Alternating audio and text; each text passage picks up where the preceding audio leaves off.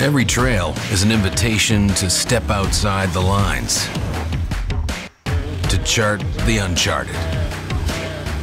Every obstacle, an opportunity to stake your claim and refuse to be intimidated. Out here, it's you versus the trail.